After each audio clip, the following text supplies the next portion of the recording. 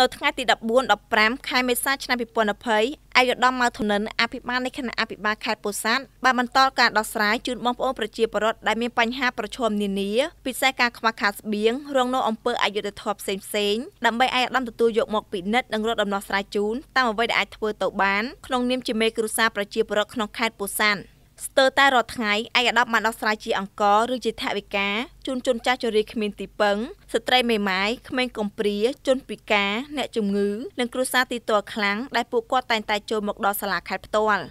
ដោយឡែកប្រជាពលរដ្ឋដែលមានបញ្ហាទំនាស់ក្នុងគ្រួសារទំនាស់ដីធ្លីរវាងប្រជាពលរដ្ឋនិងប្រជាពលរដ្ឋដូចគ្នាក្តីជាមួយក្រុមហ៊ុនក្តីនិងជាមួយអាជ្ញាធរមូលដ្ឋានក្តីឬចំនួនផ្សេងផ្សេងត្រូវបានអាយដាមដោះស្រាយជូនក្រៅប្រព័ន្ធតុលាការផងដែរសូមបញ្ជាក់ថា ការបន្តជួបសំណេះសំណាលនិងដោះស្រាយនៅរាល់បញ្ហាប្រឈមនានាក៏ដូចជាទុកកង្វល់បងប្អូនប្រជាពលរដ្ឋដែលបានអញ្ជើញមកពីបណ្ដាក្រុងស្រុកភូមិឃុំមួយចំនួននៅក្នុងខេត្តពោធិ៍សាត់ការដោះស្រាយនេះធ្វើឡើងទៅតាមទម្លាប់ជារៀងរាល់2ថ្ងៃម្ដងក្នុងមួយសប្ដាហ៍ឯកឧត្តមមានប្រសាសន៍ទៀតថាអ្នកចម្ពាក់លុយគេត្រូវសងគេអ្នកយកដីគេត្រូវឲ្យគេវិញ នេះបានហៅថាចរិតគុណធម៌គឺត្រឹមថ្ងៃទី15ខែមេសាឆ្នាំ2020សម្រាប់ខេត្តពោធិ៍សាត់រហូតមកដល់ពេលនេះនៅមិនទាន់មានអ្នកឆ្លងជំងឺ Covid-19 នៅឡើយទេ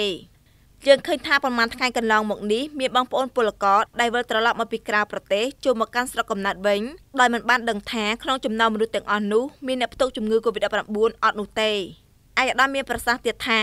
សូមឲ្យបងប្អូនប្រជាពលរដ្ឋត្រូវអនុវត្តតាមការណែនាំរបស់រាជរដ្ឋាភិបាល និងក្រសួងសុខាភិបាលដើម្បីចូលរួមបង្ការនិងទប់ស្កាត់ជំងឺ Covid-19 ទាំងអស់គ្នាត្រូវលាងដៃជាមួយសាប៊ូឬអាល់កុលនិងត្រូវពាក់ម៉ាស់នៅកន្លែងសាធារណៈ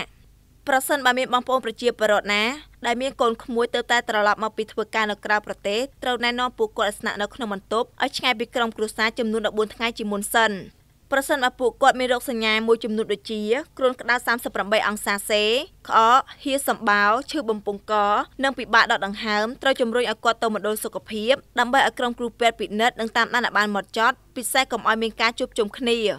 ក្នុងឱកាសនោះអាយដាមក៏បានប្រគល់លិខិតថ្លែងអំណរគុណដល់សប្បុរសជន ដែលបានបន្តចូលរួមបរិច្ចាគជាថវិកាក្តីជាអង្គក្តីនិងសម្ភារៈមួយចំនួនទៀតដល់គណៈកម្មការប្រយុទ្ធនឹងជំងឺ Covid-19 និងទុកសម្រាប់ចែកជូនដល់បងប្អូនប្រជាពលរដ្ឋដែលជួបការលំបាកផងដែរ។